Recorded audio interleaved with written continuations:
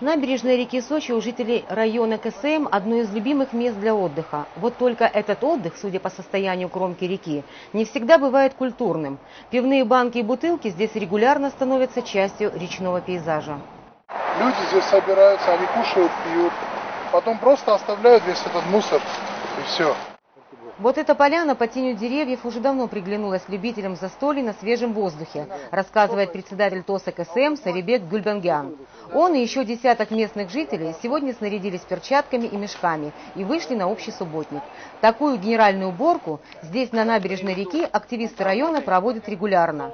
Стараются убрать мусор из-под кустов и деревьев, пока он не попал в реку. Сейчас уберем весь мусор, поднимем его наверх, и э, в течение дня он будет у всех на глазах, для того, чтобы люди увидели, что там, где они живут, там э, сорить нельзя, просто нельзя. Благодаря в том числе и усилиям общественности, сегодня район КСМ приобретает новые черты. После того, как дома и дворы отремонтировали, почти в каждом одна за другой стали появляться ухоженные клумбы. На обновленных территориях стараются поддерживать порядок. И теперь на субботники жители района выходят без приглашения и вне зависимости от дня недели. У нас там дом это самое. Так мы убираем, сами делаем уборку вокруг дома. Пойдешь сам поработаешь, без всякого субботника. Впрочем, генеральная уборка только субботником на набережной не ограничилась. Теперь в районе появится новая спортивная площадка.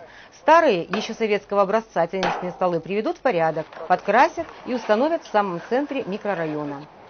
Ирина Трусова, Ольга Десятова, Николай Тихонов, телекомпания ФКТ.